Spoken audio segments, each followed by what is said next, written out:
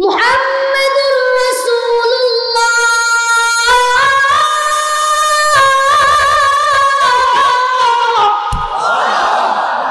والذين معه أشداء على الكفار. رحمة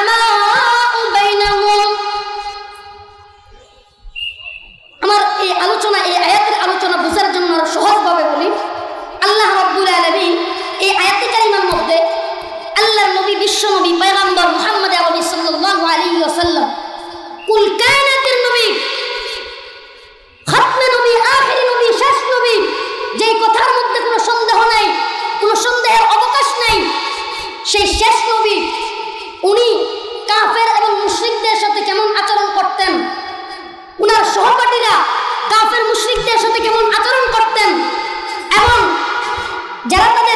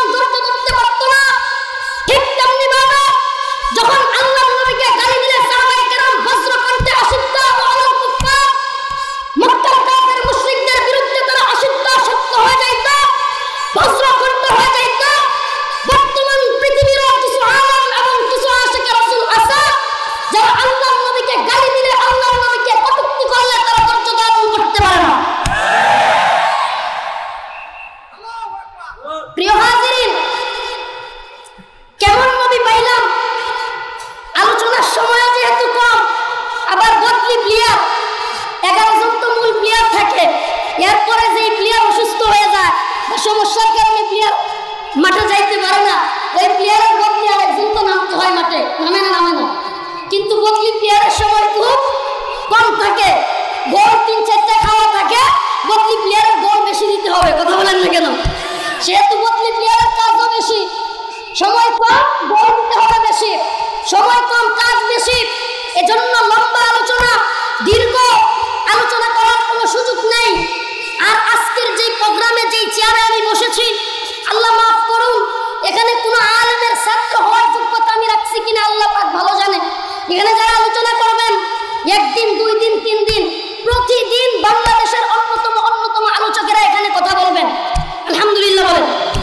প্রত্যেক দিন মাওলানা নজির আহমদ সাহেব আছেন, প্রথম দিন শহীদুল ইসলাম সিদ্দিকী সাহেব, শফিকুল ইসলাম সাহেব, আপনারা কিছু বোনাসও পাচ্ছেন?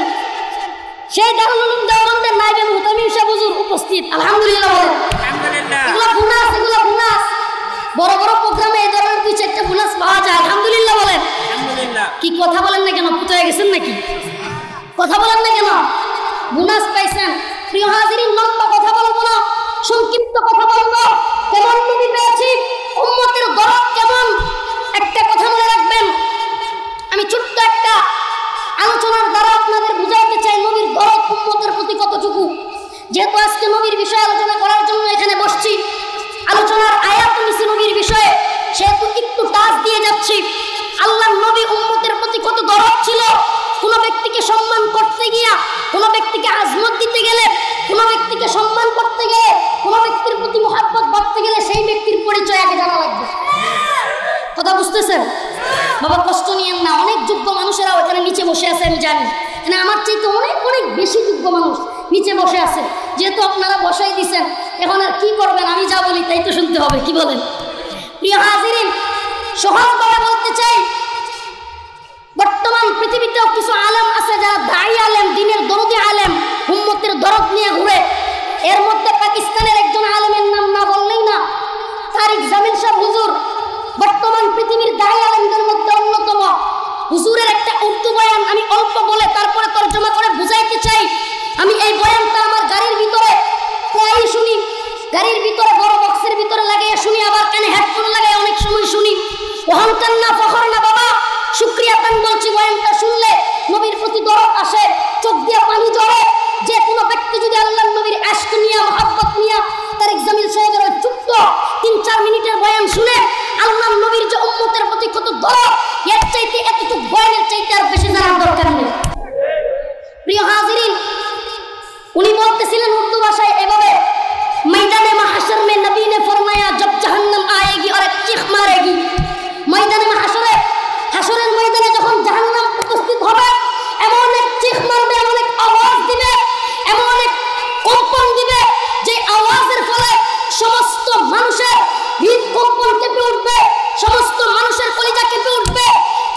পানি বলে পিপাসায় ছটপট করতে থাকবে, প্রত্যেকটা মানুষের জবান দিয়ে শুধু বলতে থাকবে, ইয়া রব, নফসি নফসি, ইয়া আল্লাহ, মেরি জান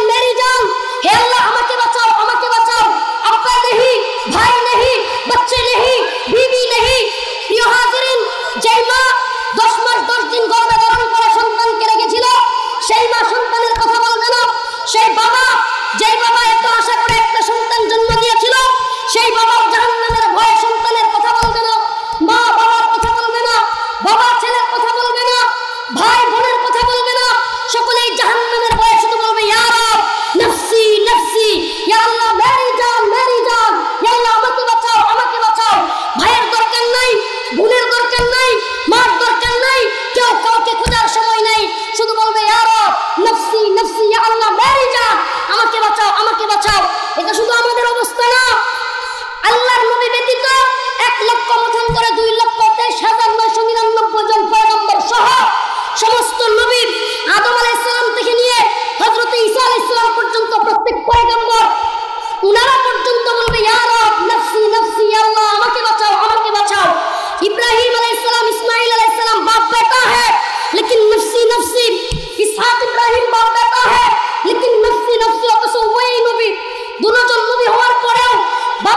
সন্তানকে বলবে না, সন্তান বাবার কথা বলবে না, শুধু বলবে, নফসি নফসি, আমাকে বাঁচাও আমাকে বাঁচাও।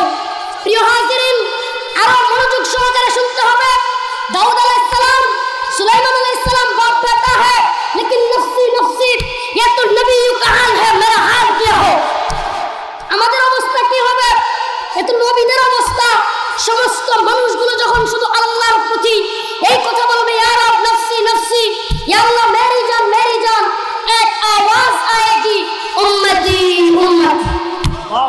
একটা আওয়াজ আসবে, উম্মতি উম্মতি, আই হাই।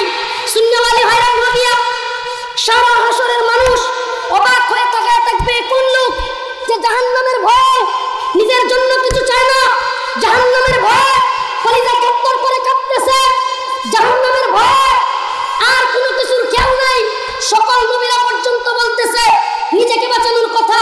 এখন লোক যে বলে, আল্লাহ আমার উম্মতকে বাঁচাও। এখন ব্যক্তি সকলে